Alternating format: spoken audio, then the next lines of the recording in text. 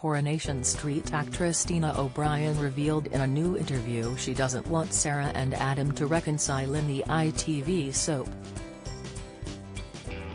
She said, It's a tricky one, I actually quite like the idea that maybe they can't be together.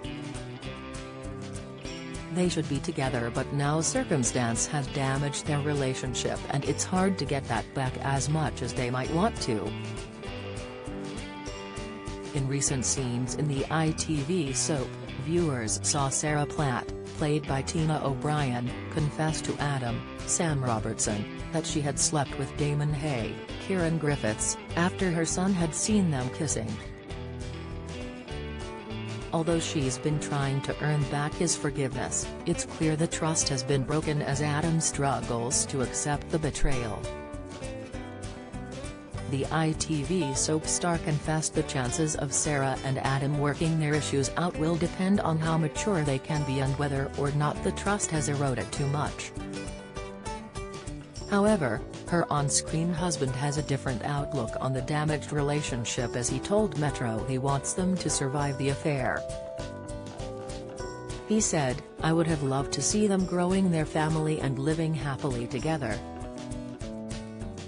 I love working with Tina, I think she's great. But obviously, the writing team and the audience want to see that conflict.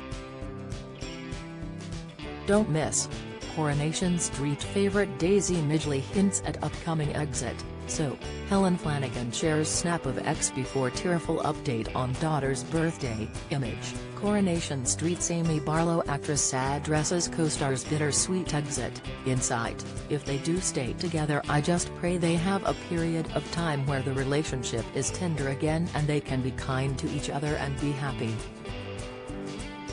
Although it looks as though there's a long road ahead for Sarah and Adam as official soap spoilers reveal she's going to discover she's pregnant. However, after sleeping with Damon, it soon becomes clear Sarah doesn't know which of the two men in her life is the dad.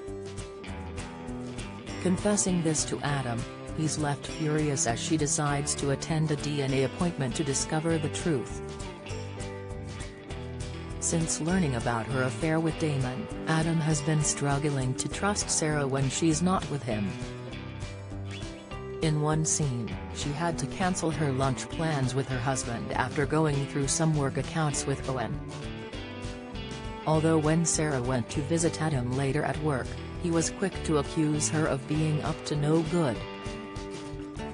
Flipping out at her, he asked if she was really at work in the first place or using that as an excuse to see Damon on the sly. Will Adam be able to get past her lies? Or is this the end of their marriage for good? Coronation Street airs Monday, Wednesday and Friday from 8 p.m. on ITV.